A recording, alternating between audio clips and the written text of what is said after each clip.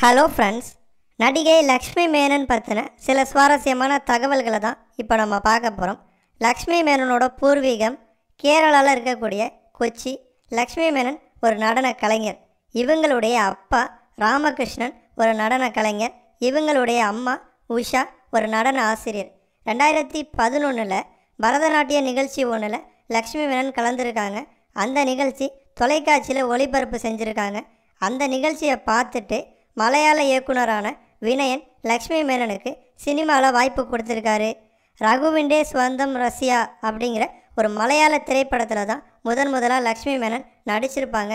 அந்த திரைப்படம் வெற்றி அடைஞ்சதை தொடர்ந்து ஐடியல் கப்பிள் அப்படிங்கிற ரெண்டாவது மலையாள திரைப்படத்திலையும் லக்ஷ்மி மேனன் நடிச்சிருக்காங்க. அதன் பிறகு தான் ரெண்டாயிரத்தி பன்னெண்டில் சுந்தரபாண்டியன் திரைப்படத்தில் நடிச்சிருப்பாங்க. சுந்தரபாண்டியனுக்கு பிறகு கும்கி திரைப்படத்திலையும் நடிச்சிருக்காங்க.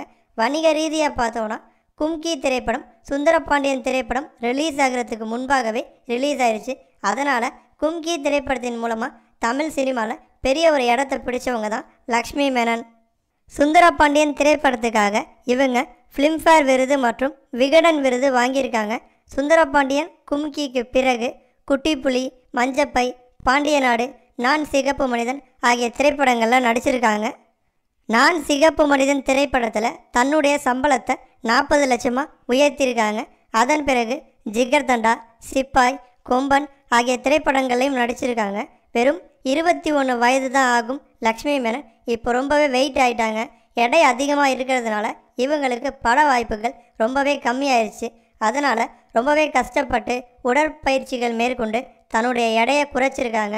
ஒரு வழியாக திரும்ப சினிமாவில் நடிக்க போகலாம் அப்படின்னு இவங்க யோசிச்சுக்கிட்டு இருக்க டைமில் தான் இவங்களுடைய அம்மா இப்போல்லாம் நடிக்க வேணாம் அப்படின்னு சொல்லி இவங்களுடைய சினிமா வாழ்க்கைக்கு முட்டுக்கட்டை போட்டிருக்காங்க.